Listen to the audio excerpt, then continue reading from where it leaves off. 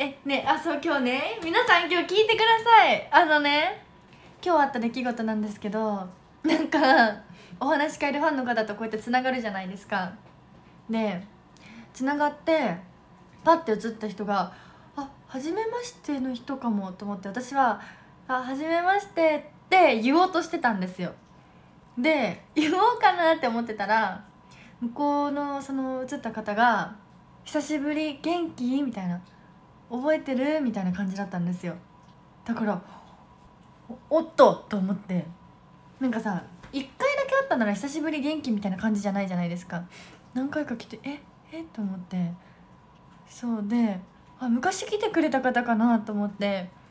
でもう頭をもう一生懸命フル回転させたんですけどえー、誰だろうと思って。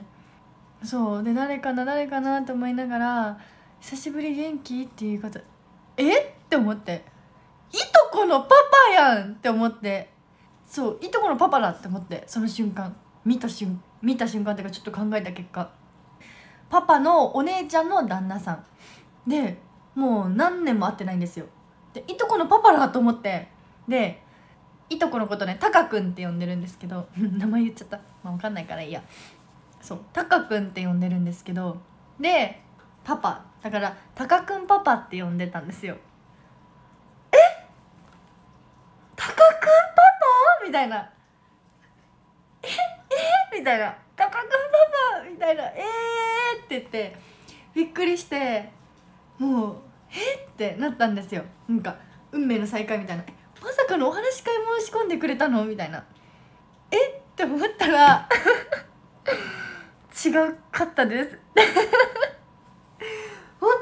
う人で「タカくんパパ!」みたいなやったんですよ。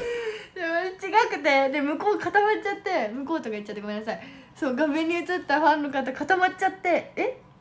ちタカくんパパって誰?」みたいな感じで固まってプチって切れました。だから誰ですか？あの方は。ねえ誰なの？一体。でもよくよく見たら確かに名前違うわって思って。えそうでも似てたの。でもね似てたの本当に。そう。マジでごめんなさい。タカくんパパって呼んじゃったの。その人のこと。ねえ本当にどうしよう。誰だったんだろう。でもね久しぶりみたいな。元気覚えてるみたいな。えそんなテンションはさ結構久しぶりのテンションじゃないですか。久しぶりのリップグロスで会ってたらさねそんな感じで来ないじゃないですか。そうもういとこのパパだと思っちゃって。びそうでもちょっと似てたの確かに。もうねどうしよう。誰なんだろう。だから知りたいのそのファンの方が一体誰でどうだったのか。もう最悪だよ。私のそのタカ君パパで終わってしまったの。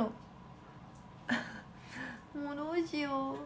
えー、久しぶりって言ってさコロナ前に来てくれえー、えー、でもねそんな感じだったら結構通ってくださってる感じじゃないですか。でも覚えてるはずなんだよね。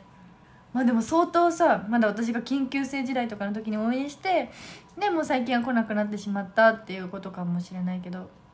えマジでやばくないですか？私本当にやってしまったと思って。